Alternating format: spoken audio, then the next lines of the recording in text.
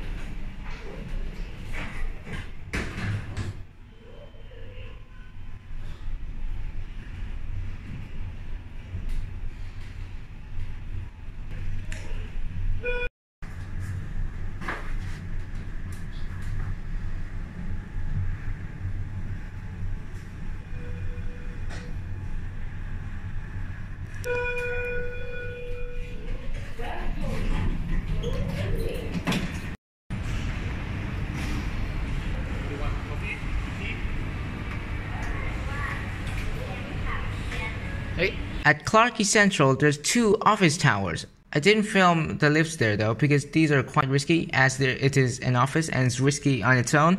So you can watch other people's video on these. Link in the description or you can search on your own. Subscribe now for a special video at 100 subscribers. Thanks for watching.